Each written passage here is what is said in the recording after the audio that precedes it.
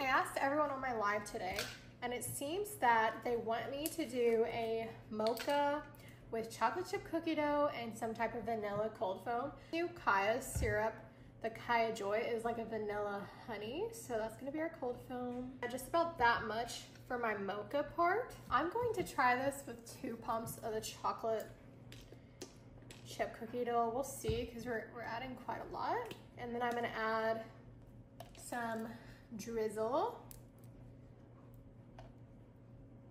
Add some drizzle for the vibes. This mixed in.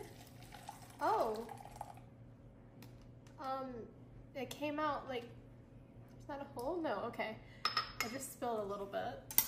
Oopsie daisy. Give this a little swirl. Mm, about that much milk.